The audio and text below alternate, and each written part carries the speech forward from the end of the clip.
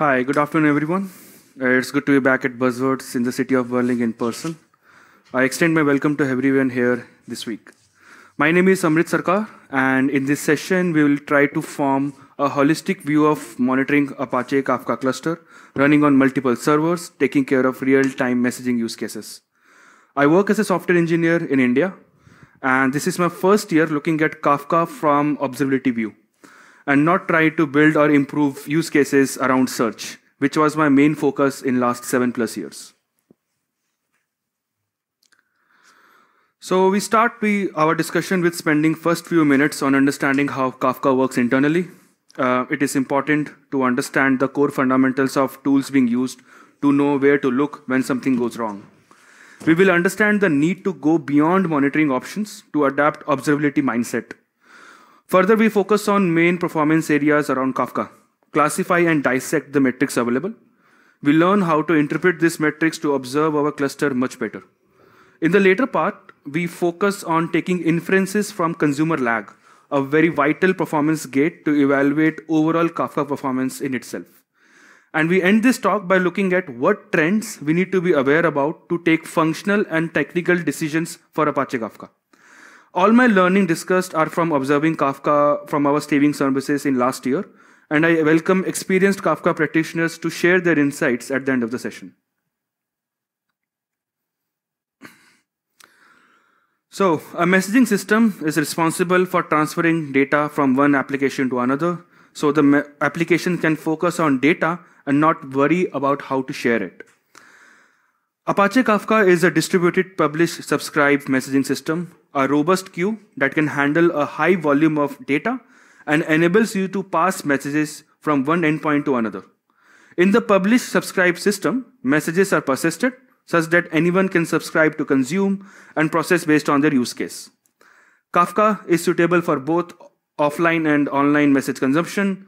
It supports uh, low latency message delivery. It is highly available, gives guarantee for fault tolerance in the presence of machine failures. Now, Kafka can be used for a number of use cases like monitoring data involving aggregating statistics from distributed applications to produce centralized feeds. It can be used across organization to collect logs from multiple services. Kafka's strong durability is a very useful in the context of stream processing, where popular frameworks like Spark and Storm use Kafka as a middle layer for processing incoming data. Kafka in itself is a unified platform for handling all real-time data feeds. Now, producers are responsible to write data in the form of messages to the Kafka cluster. A Kafka cluster comprises of number of Kafka servers called brokers where messages are persisted in distributed and replicated manner. We will go into this detail later. Producers write Kafka in a unique logical queue called Kafka topics in the brokers. Consumers subscribe to these topics to read the incoming messages brokers until Kafka 3.x version uh, used Kafka used Zookeeper as a coordination tool to manage and share cluster state. In the newer versions, Zookeeper's need is deprecated and will be removed in the future.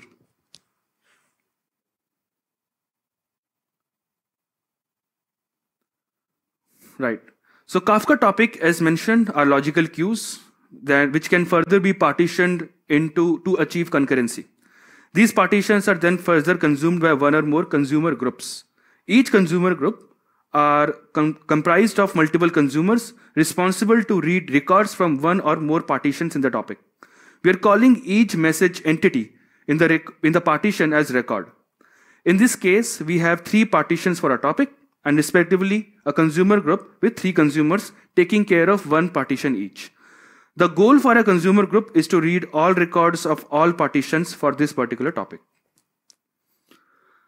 Now, a unique integer offset value is associated with each record at each partition, here 0, 1, 2, 3, and so on. Consumers keep track of this offset in a persistent manner to read the next record. When a message is written to the topic based on the internal criteria, basically a hashing algorithm, the new record or message is recorded to is uh, written to one of these partition. Producers can write or uh, a message or a record to a specific partition also. Now, what happens if a consumer in the group fails or removed by the user? In this case, partitions two's consumer has been removed from the group. Internally, one of the brokers act as group coordinator and sends heartbeat to each con these consumers uh, to know its active status. Now here, one of the active and existing consumers will take the responsibility to consume the remaining records from partition 2. Since the offsets for partition are tracked on a group level, no, no loss of data is encountered. And a group consumer leader, elected by the group coordinator, is responsible for it when consumers are added or removed. Now, I understand I'm name dropping a bunch of terminologies, and we who are not familiar with Kafka much, but getting to know these nuances will really help us to understand what to monitor and what they represent essentially. So, in a Kafka cluster, there are multiple brokers running on servers providing durability along with high availability to the topic. In this case, we have two brokers, broker 1 and broker 2, and topics are divided and replicated in the following manner. Uh, we have topic T1, which has two partitions, P0 and P1. Each partition has two replicas, R1 and R2. Broker 1 contains one set of um, uh, uh, topic, while the broker 2 contains, contains the other set. For each partitions, there will be a leader replica, which will be responsible for both read and write. producers write messages to topic T1. For partition 0, they will be first written to replica R1 on the top and also consumed from R1 replica only. Internally, broker will further propagate these messages to follower replicas for a partition. For partition P1, this role will be played by uh, replica R2 in broker 2. Using single replica as both read and write ensures consistency at all levels. Taking another example for topic T2, we have a single partition with two replicas and their leader, leader resides on broker 1 and with similar configurations for topic T3, the leader resides on broker 2. Now, with so many dynamic pieces, um, one of the brokers takes up the role of the controller, who performs various administrative tasks. All the uh, create, update, delete topic requests sent by the user, user are processed by the controller broker. If a broker, which is not a controller, fails, few of the leader partition replicas may become unavailable. The, this controller will reassign this leadership role to other in-sync follower replicas and keeps constant track of the replica state for further decision. Controller acts as a brain of the cluster for partition leadership management. I have abstracted a great deal of internal and design details, which makes Kafka probably one of the best maintained and improved open source technologies.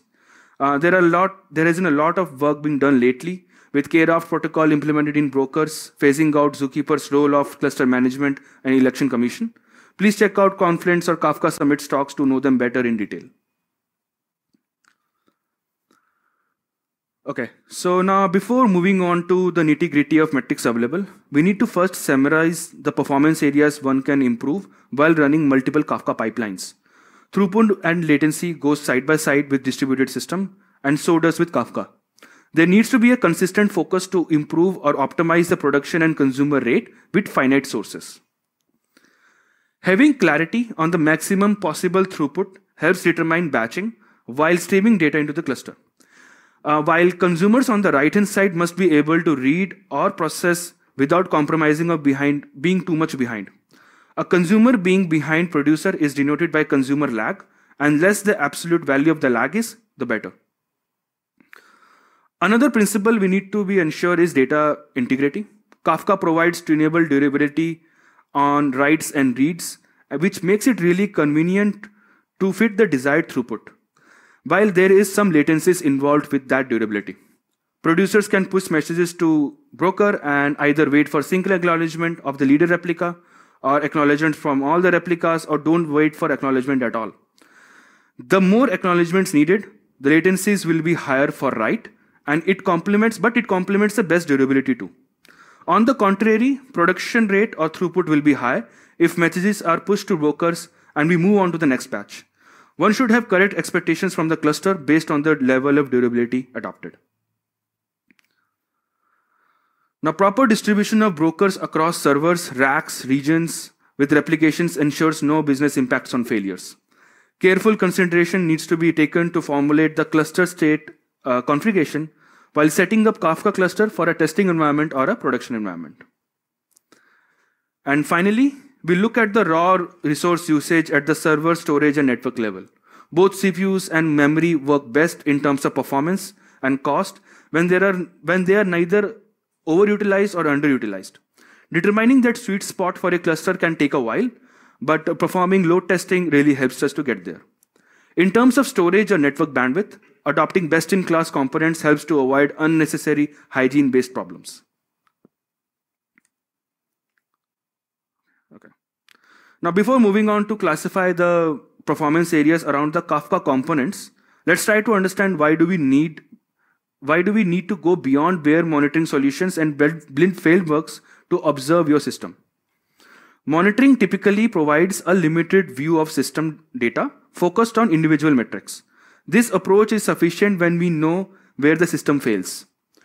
And uh, monitoring tends to focus on indicators such as throughput or utilization rates, which in indicates overall system performance. As applications become much more complex, so do their failure modes. And it is often not possible to predict how distributed applications will fail. By making a system observable, uh, you can in, you can understand the internal state of the system, and from that you can determine what is working and what is not, and why it is not working. Apache Kafka in itself does not report problems; it only report metrics. One of the elements we discussed in the basics was controller controller broker, and there is a metric called active controller count, which must be one at all the times. If there are more controllers, it will lead, lead to split brain problem. Alerting, which is part of monitoring, can tell us there is an issue. But good observability can help us determine the root cause like servers restarting, NTP clock failing, etc., network packet dropping, which can potentially lead to the multiple cloud controllers part.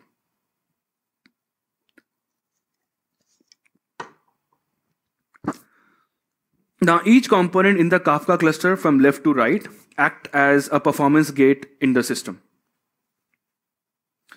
We start with uh, producers. Uh, throughput of pushing messages must be tracked. Abnormal spikes must be investigated.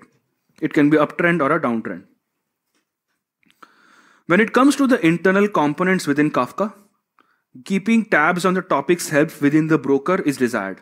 If one or set of brokers goes away, having an oversight of topics become unavailable for pushing uh, messages is important. As multiple brokers are part of cluster hosting tens of thousands of partitions, stable distribution of these partitions across servers based on server resources is recommended. So keeping track of number of partitions being hosted along with bytes in or out of each broker helps us observe load distribution. In terms of topic, going one level further within the brokers, visualizing each individual partition health in terms of availability via replication, leader, uh, leader partition replicas bytes in and out becomes a potential performance gate. Though by default messages are equally distributed across partitions, users can direct messages to specific partitions via custom routing, and hence unstable partition load distribution can be formed and thus needs to be in check. Consumer rate, similar to producers, must be tracked along with how much a consumer is lagging behind. Lag in absolute and relative terms is the single most important metric to be tracked to determine Kafka cluster performance as a messaging system. And finally, we look at the elements binding the systems together. Network latencies between servers on one or more regions, CPU, memory, input, output, spikes contributing to distributed system performance as a whole.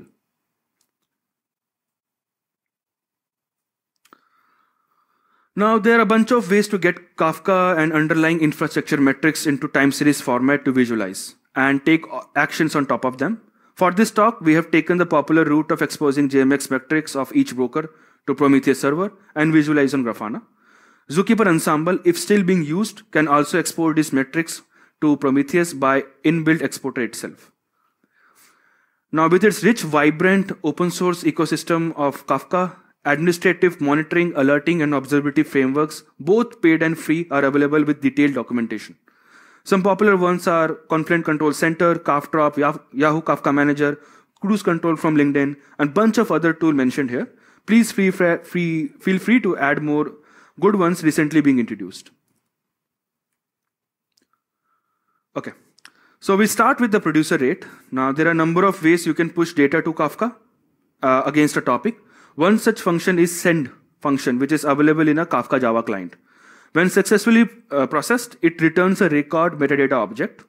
This object has an offset long value representing record's position per topic partition combination. It's an absolute position in the in the topic uh, in the partition itself. If we push this offset value through instrumentation to Prometheus, and run one minute rate on top of it and visualize, we can start seeing patterns on a time schedules. In this case, we are seeing a decent spike in, a, in, in the incoming traffic around midnight, around uh, 00.00. There are other ways to determine the latest current offset value at the broker level. Uh, broker API itself also exposes this offset value for each topic partition combination. Now, uh, there are four key metrics in the Kafka system which we can expect an alert as soon as something goes wrong. Starting with ACC, which is the active controller count, which if more than one can result in executing uh, cluster administrative commands without synchronization and consistency.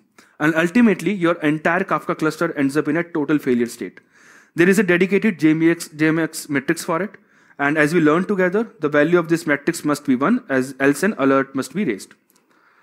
We further move on to making sure all the partitions for all the topics in the cluster are available and not offline. There is a dedicated metric which represent partitions are offline, irrespective of any topic. And this singular metric value must be zero at all the times, or we should be alerted. These offline partitions are neither available for read or write, and generally caused by cascading failures on the servers. The JMX metric name is offline partition count. Now, when we establish replication for partition across, we also have to set minimum value for ISR. ISR is in-sync replicas for the partition. Kafka brokers returns back the acknowledgement for a successful write for a batch only and only if the data is replicated across a minimum number of replicas. If at any point of time these in-sync replicas are lower than what is configured, an alert must be raised since producer write will be halted until resolution. The JMX metrics available at Kafka is under min ISR partition count, and as name suggests, it denotes number of partitions unavailable in this discussed situation. In idle and all cases, the value should be zero always for under-replicated partitions itself. Uh, if we have more than one value for under-replicated partitions, that means that we are more vulnerable to data loss if there is a leader failure. Now we discussed uh, some very definite metrics here and to raise alert if constant value is not fetched. Further on an analysis front, keeping track of consumer lag per partition, per topic, provides us understanding of how the streaming in Kafka is performing. We will discuss the consumer lag in detail with observability, observability eyes later.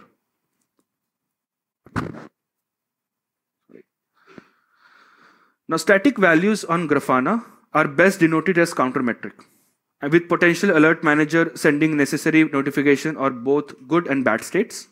Metrics are pushed with bunch of labels and thus can be used to plot dynamic counter widget at topic level for verbose visualization. We have ACC active controller count as 1 and 0 offline partition counts for both the brokers. There are no minimum under uh, in sync um, replica partitions across 10 plus topics hosted on this cluster. This is typically a happy place, a very happy cluster. And something goes wrong, the green will become red. Okay, moving on to further, uh, moving on, digging into further into the broker's health metrics, and we start with load distribution among brokers for hosting partition of different topic.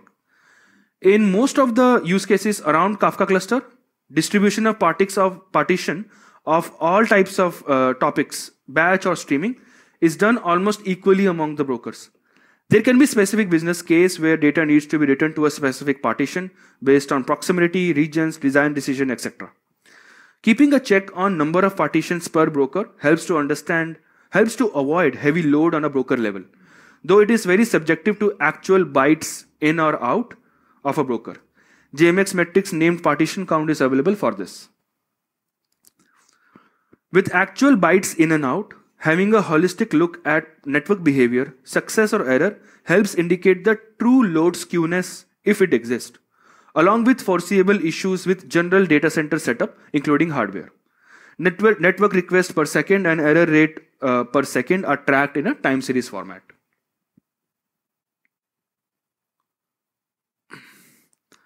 Now, each broker has a log file per partition per topic, where new data gets appended on disk. These cache-based write are flushed to disk in certain format based on Kafka internal factors, and they are performed asynchronously so as to optimize performance and durability. The longer it takes to log uh, to flush that log to disk, the pipeline, which is producer to consumer, backs up more and the latency can get worse. When the latency goes up, even as a small increment of 10 millisecond can balloon up and can lead to under replicated partitions, which we discussed in the previous slide. If the latency is going high, it indicates towards better adoption of uh, hardware or scaling. We have a dedicated JMX metrics for, uh, to see the log flush latency. Now, fetcher lag. The lag in messages per follower replica is aggregated for a topic partition at a broker level. This allows monitoring the broker's capability to keep replicas in sync within the partition. The expected value for this metric should be zero or very low, um, indicating the broker is able to keep up with the replication. If the metric is increasing, it indicates a problem. It probably can be a high producer rate or a fundamental server problem. Now, visualizing these metrics together gives a much better idea. Here, clearly, broker 0 who is hosting 68 partitions in total is doing much more work than the broker 1, holding only 15. The load skewness is evident in the network request per second in the top left corner. And it is also evident in the log flush rate because since it is uh, taking care of more partition. Even though broker 0 is hosting four times more partitions than broker 1, the log flush, flush time, which is on the left bottom corner, is not affected, and both the brokers are on par with each other. Is, this is another happy case where the fetch lag is absolute zero with no follower partitions being behind. Note all the partitions are at the broker level, and this is also another happy case where even though there is a load skewness, that particular broker is able to keep up with the incoming traffic.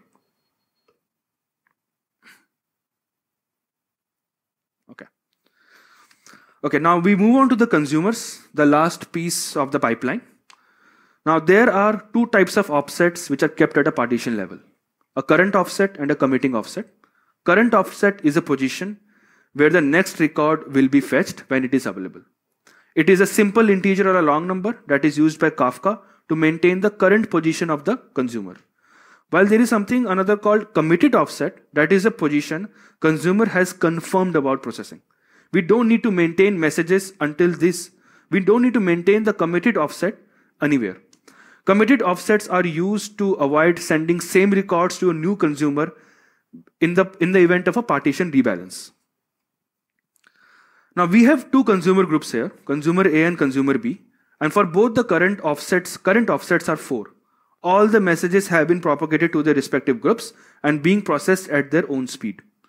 Group A is at 4 Hence, the committed offset is also 4 for it, while for B, consumer B, the committed offset is 2.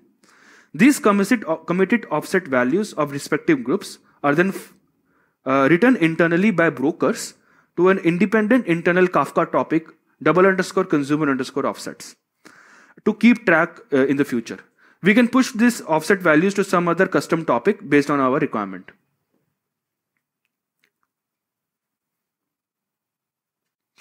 Now, this particular topic, double underscore consumer underscore offsets, can further be consumed by the same Kafka cluster with dedicated consumer. And we can write these long values to a time series database like Prometheus and visualize on Grafana like this. This offset long value can be emitted for every consumer for a topic down to its individual partition. Uh, there are a number of tools available, both open source and paid, which does all of this for us and we can visualize true consumer offset and consumer rate on a time series basis. We're going to discuss one in the next slide. Now, Burrow, uh, I personally like it very much, is a LinkedIn, LinkedIn's open source monitoring companion for Apache Kafka that provide consumer lag checking is a service without the need for specifying thresholds.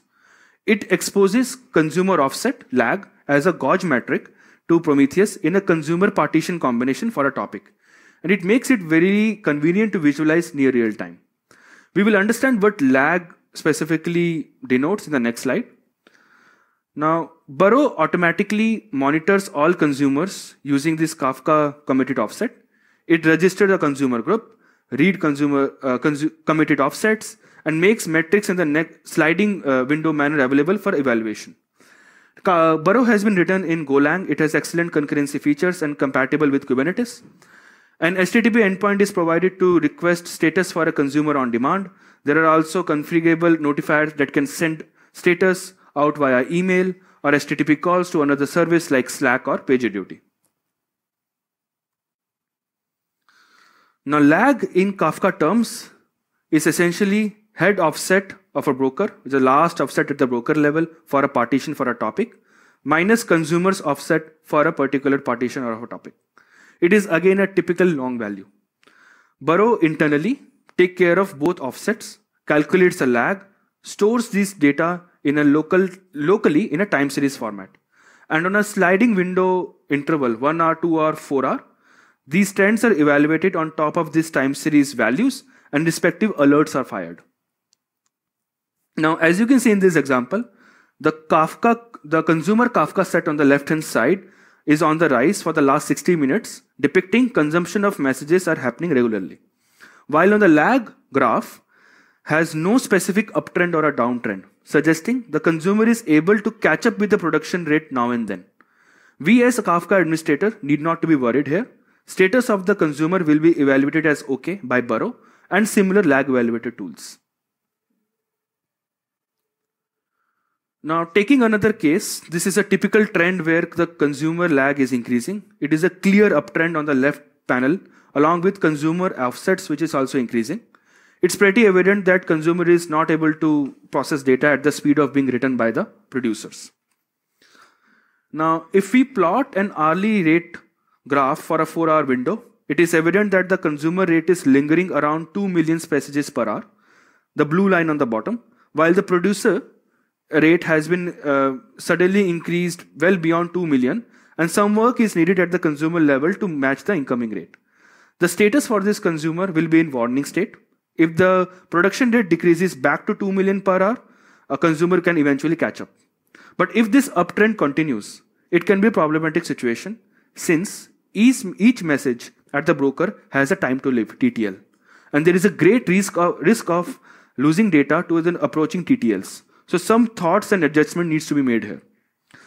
Uh, this is this is a single example. This is an actual pipeline working in one of the uh, in one of the services.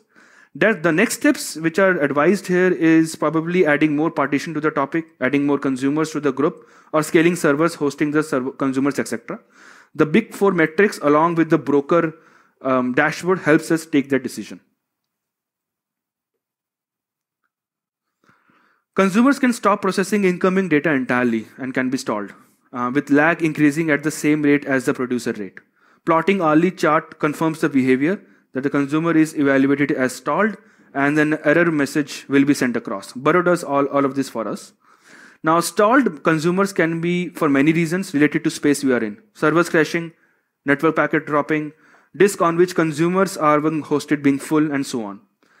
Another benefit of keeping track of stalled consumers is a way to determine which consumers are not in use. Now, let's try to understand if we can draw more insights from these available uh, offsets time series panel graph. The two hourly broker and consumer offset line graphs are looking almost identical, denoting there must not have been an issue in the given time period, which is for four days. While we look at the consumer lag line graph, there are spikes occurring at various points in the period. Burrow or any other tool will detect the spikes and send across alerts to the administrator. One of the fundamental issues we face while analyzing absolute values is forming alerts on a trend, which does not have a relative base, and thus are false alarms. There are at least 7 to 8 false alarms here in this 4 day period. Now to convert this consumer lag in relative terms, let's take this scenario of producer, producer consumer in Kafka. Producer was at offset value 134 at midnight, 144 in 10 minutes, and 154 in 20 minutes.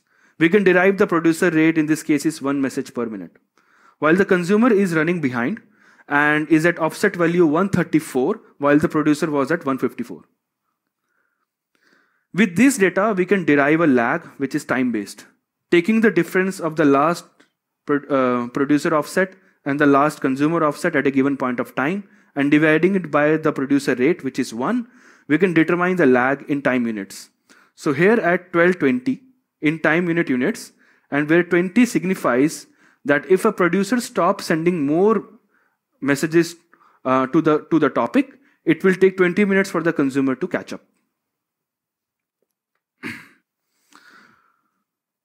Now, with our absolute consumer offset lag graph, uh, we plot time-based side by side. In the time-based lag graph, consumer is mostly 10 minutes behind the consumer. This is, is, this is in minutes itself. Now, there are no big peaks in the graph apart from 6, 7 odd long bars which does not have continuity. The chart at the bottom does not suggest any minor or a major issue, and we can very well call this a normal trend for a consumer just like we guessed when we were looking at the producer and the consumer line graph a couple of slides back. Converting the lag in time units provide much better understanding of how much consumer is actually behind and sufficing our SLAs or not. Different topics and the configuration, partitions, replicas can be load tested to have this time units as a base. Going away from this absolute uh, um, offset values and having time units brings all these Kafka pipelines together under the same umbrella, and you can compare pipeline versus pipeline, not only configuration versus configuration. What we are looking here is nothing new. It is a pure statistics function and being discussed by other Kafka users on various user forums. Now, one of the most act, uh, important activities we do with time series data is performing anal analysis on trends. That is understanding historical behavior to predict future. How much data came in last week versus the previous one? Anticipated traffic for a big day sale, etc. Analyzing trends, trends provide clarity.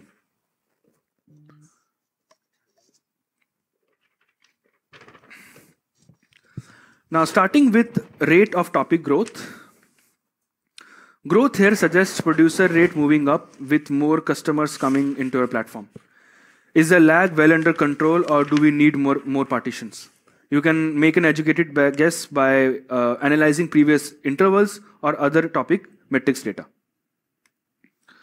One of the fundamental issues we have seen are abnormal spikes at producers without the service provider being informed.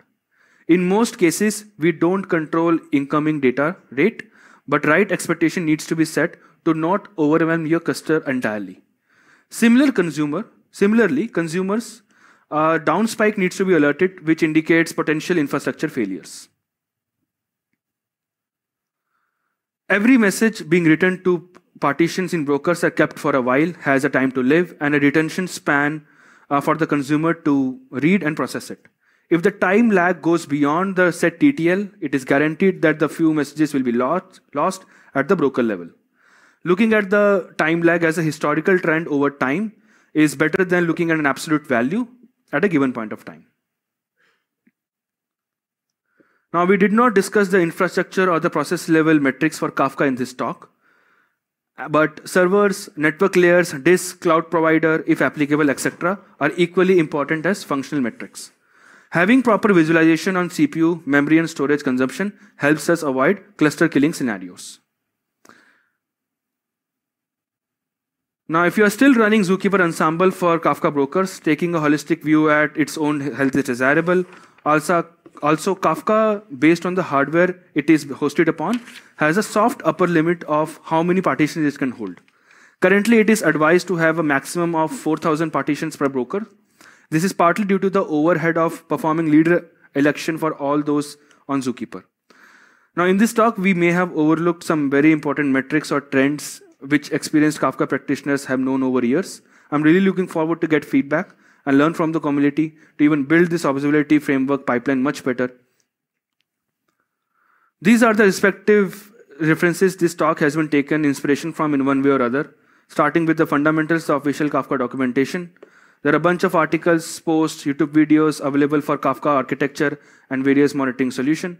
I have listed some of them. I highly recommend Paper Data's Kafka monitoring talk on YouTube. Please refer Burrow, Prometheus, Grafana official website to know more about them and understand their integration better. And for good study material on observability, uh, Google Cloud team has published an excellent blog measuring improvements in a distributed system. Uh, with that, I'm open to questions or anecdotes from your experience. I really hope this was useful in some way. I'm available at all social media platforms at Sarkar Amrit too. I thank you again for being here in this conference and this talk. Thank you.